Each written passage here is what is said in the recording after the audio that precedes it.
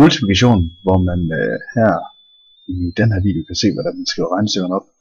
Øh, har jeg skrevet en masse regnestykker i forvejen. Vi har et cifre gange med et andet cifre, og vi har to cifre gange med to cifre. Øh, og nu har jeg lige valgt en rød farve, så der kommer lidt farve i den her. Men ellers så siger man 7 gange 4, det giver 28, og så er der 2 i mente. Så I kan se her, der står 28 her, fordi at 1'eren skrives her, og 10'eren her. Så 28. Og øh, så giver 7 gange 2, det er den her, den nederste, det giver 14, plus de 2. 14 plus 2, det giver 16. Så 7 gange 24 giver 168. Når vi så tager 3 gange 54, så siger vi 3 gange 4. Vi starter altid med 1 og det først, og det her 4 står. Så 3 gange 4, det giver 12. Vi har 2, og så 1 i mændene, altså 1, 2, 12 her. Og så siger vi 3 gange 5, giver 15, plus den ene, og det er 16. Så vi har 3 gange 54 giver 162. Øh, jeg kan lige vise det her. Altså vi siger 5 gange 3 først. Det giver 15, og så 1 i mente. Så siger vi 5 gange 7. Det giver 35, plus den ene, det giver 36. Så vi tager og hele tiden, i hvert fald altid gange den, og så gange det der. Og så lægger det her til, som der kun i mente.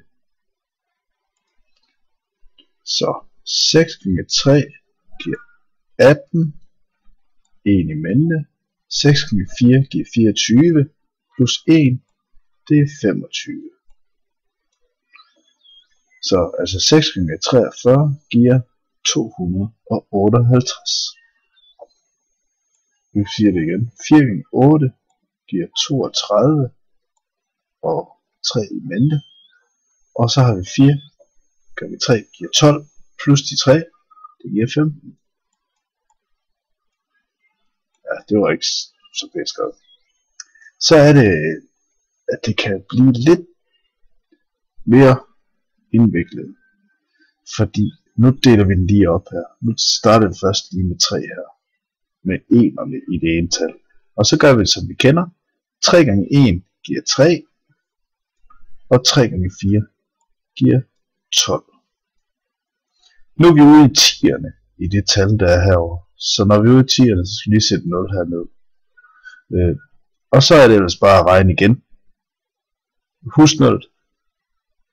2 gange 1 giver 2, og 2 gange 4 giver 8. Så nu er vi det drejstykke op, hvor vi først sagde 3 gange de 41, og så gik vi over til at sige 2 gange de 41, og det husker vi lige et 0 ved det regnestykke. Og så lægger man dem sammen. 3 plus 0 giver 3, 2 plus 2 giver 4, og 1 plus 9 giver, ja, oh, 1 plus 8 giver 9. Så kommer man igen til at sige svar.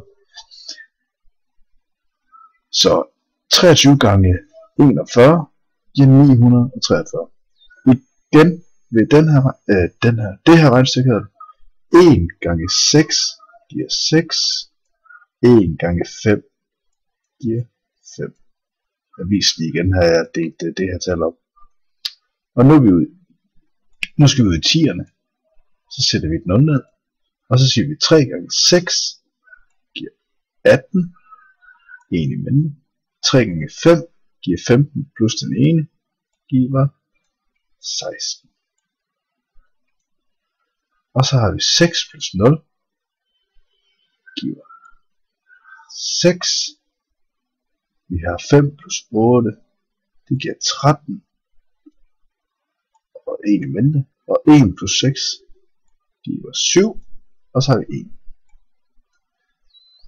Så 31 gange 56 giver 1736 det sidste regnstykke, der har jeg lige taget et 0 med, fordi at det bare er træls regne med for rigtig mange. Så når vi nu siger, når det er på 1 og dets plads det her, 0 gange 7, det giver 0, og 0 gange 6, det giver 0. Det er en god idé at skrive det ned, fordi man ved på den måde, at man har lige brugt det på en eller plads, fordi så går vi nemlig ned på den næste række, og så kommer vi ud på 10'erne. Og derfor skal vi lige have den 0 her. Og så skal vi sige 7 gange 7, det giver 49. 4 i mente. Og 7 gange 6 giver 42 plus de 4, det giver 46. Og så er det igen et øh, almindeligt plusstykke. 0 plus 0 giver 0. Og det siger næsten sig selv det her. 0 plus 9 giver 9. Giver 6 og 4. Så nu har vi 70 gange 67 giver 4690. Og det her, det var en lille instruktion til, hvordan man skriver regnstykkerne op, når man nu skal gange i hånden. Når man har styr på sine tabeller, så er det ret hurtigt at regne øh, gangstykker ud i hånden.